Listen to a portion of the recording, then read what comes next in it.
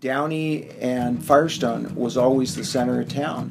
And so that's why uh, downtown Downey has always had quite an impact on um, Downey because this was the place where everybody met, and it's right near This, Sec. yeah, this was basically the hub. You had the train track Right. that came through right All of these people, and Mitrovich was he was the uh, immigrant that came Oh, here, yeah. and he had a statement somewhere when I was doing research for my book about how important it was that he lives in America and, and how much he cherishes his citizenship and how much he loved Downey.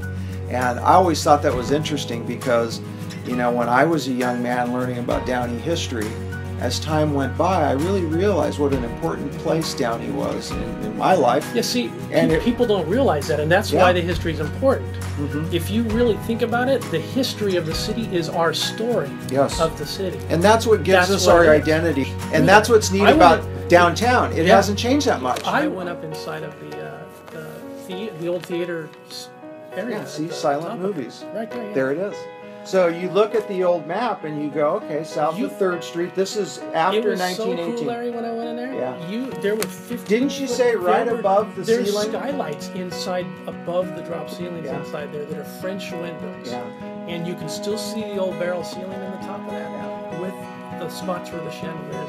I think it's neat that at our age we can appreciate this, you know. But my wife was telling me she's a first grade teacher, and the kids that young just have no concept of time.